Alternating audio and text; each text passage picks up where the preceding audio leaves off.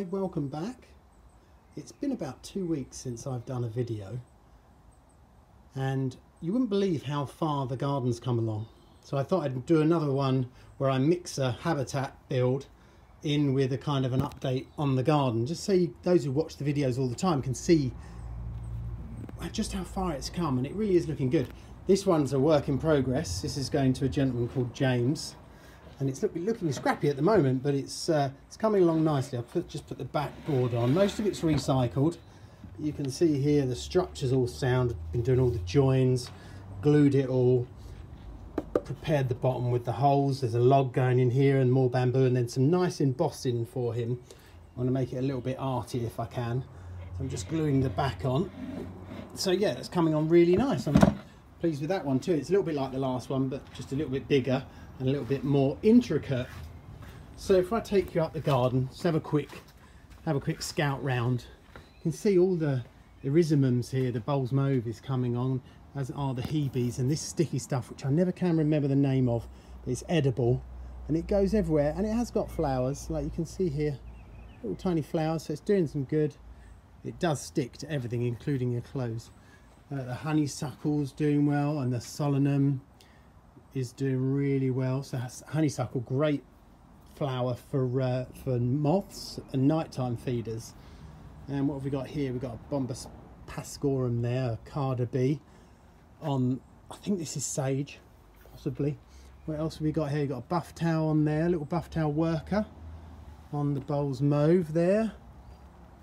The ceanothus is, is come into bloom in the last couple of weeks. Just looking to see if anything's on it. Got some frog hopper um, larvae there. You see that bubbles? They they make a froth and then lay their eggs in it. Loads of that all over the garden but ceanothus is fantastic. Creeping buttercup is out. Got some oxeye daisies coming up. Oh here we go. What we got here? Little baby a baby. You don't have babies moths. A newly emerged cinnabar moth which is I've seen a few of, but they've they've not fared well in the rain. But that one's just drying off.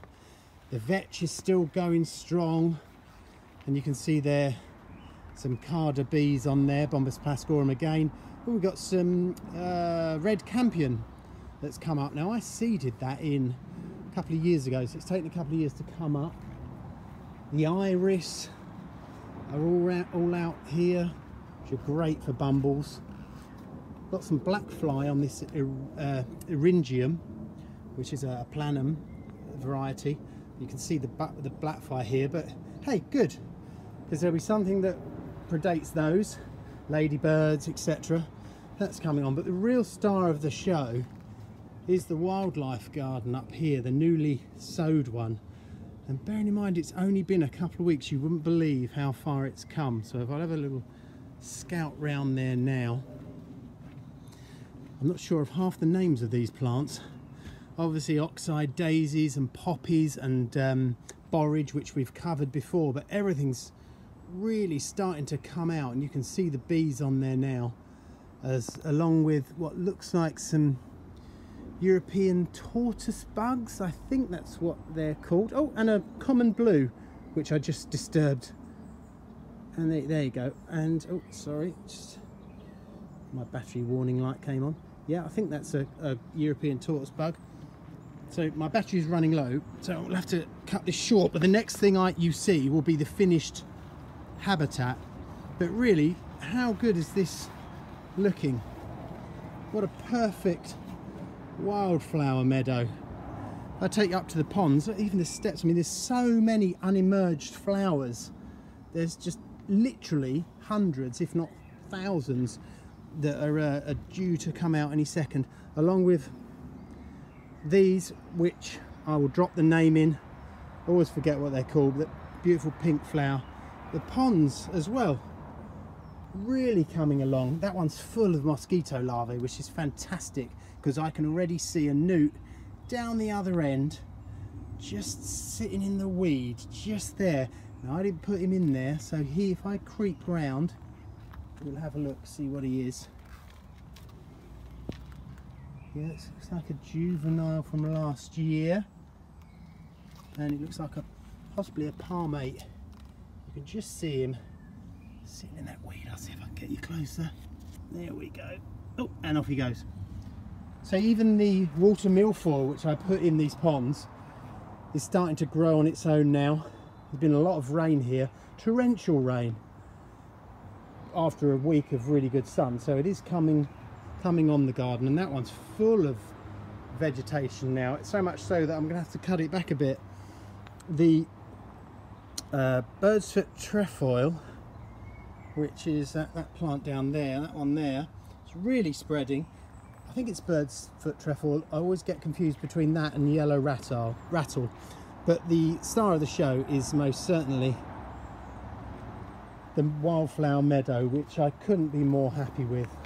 And if you haven't checked it out, go back about six months with my videos and start watching the whole series and you'll see just how much work has gone into into building this and creating this meadow which is one of the most successful things I've done plant wise because I'm not a good gardener which is probably okay because the soil that you need for these plants has to be as pretty much useless as possible so that's worked in my favor but really come along and it's, it's a bit of a rank day today overcast and yet uh, the garden is full of bees so I will catch up with you in a moment once I've done another four hours on that habitat and finished it off and I think you'll like it and hopefully James will too.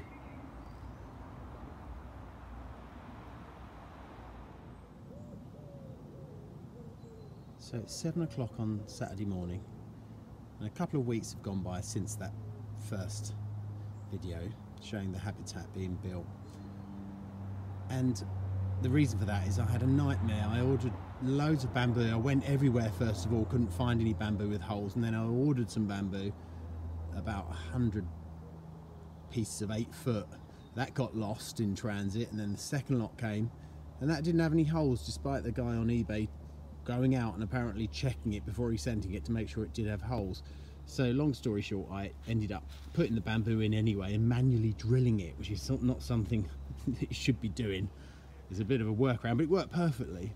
So it's all done. This has been a bit of a mammoth project. It doesn't look like much, I guess, but these things, you know, if you want them to look nice, and, and this one particularly is going to form a feature to the gentleman's garden, and I imagine it's going to be placed somewhere where it's the first thing people will see because of the wording. Um, because of all that, it's, it's taken a long time, and I'm really, really, really pleased with it. And I'll leave you with images of it now. And uh, thanks for watching. It's a really quick video but it's just to give you a catch up really. And I wanted to share the habitat with you because I'm really pleased with it. So I'll speak soon. Thanks for watching